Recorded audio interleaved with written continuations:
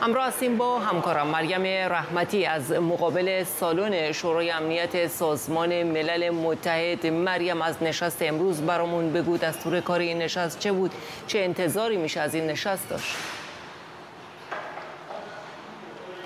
فریبا جلسه هنوز ادامه داره. دقایقی قبل نماینده جمهوری اسلامی سعید ایروانی گزارش خودش یا سخنرانی خودش رو به پایان رسوند و در بیانیه‌ای که او ارائه کرد بیشتر اعتراض کرد به حضور اوکراین در جلسه امروزی شورای امنیت و گفت که اوکراین نه عضو شورای امنیت و نه هم جزء گروه برنامه مذاکرات توافق هسته‌ای و نباید در این برنامه حضور داشته باشه و در این جلسه سخنرانی بکنه.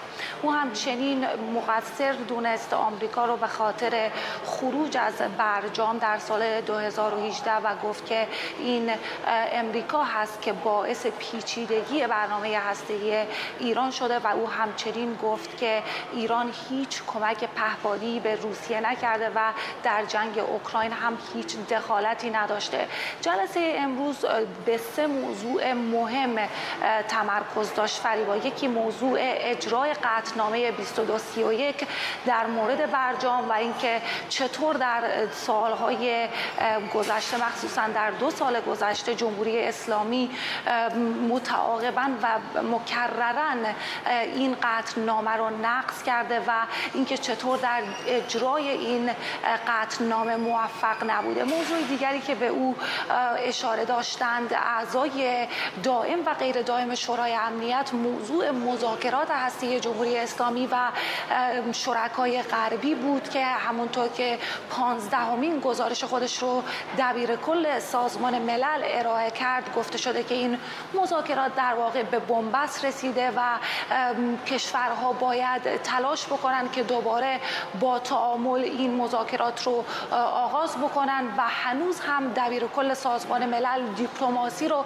تنها راه حل برای حل موضوع برنامه هسته جمهوری اسلامی می‌دونه. موضوع دیگری که در این جلسه بسیار به او تمرکز و توجه شد موضوع پاراگراف 4 و زمینه بی قطنامه 2231 بود در مورد برنامه موشکی جمهوری اسلامی ایران و همچنین ارسال پهپادهای جمهوری اسلامی که همه نمایندگان میشه گفت به جز روسیه و جمهوری اسلامی بر او تمرکز داشتند موضوع موشکی که بریتانیا موشک بالستیکی که در دریای عمان توقیف کرد. موضوع پهپادها که اوکراین فعلا لاشه هاشو داره و از دبیر کل می‌خواد که در موردش تحقیق بکنه. و همچنین دولت یمن هم از دفتر دبیر کل سازمان ملل خواسته تا به یمن سفر بکنن. و در مورد موشک های کروزی که جمهوری اسلامی در اختیار حوثی ها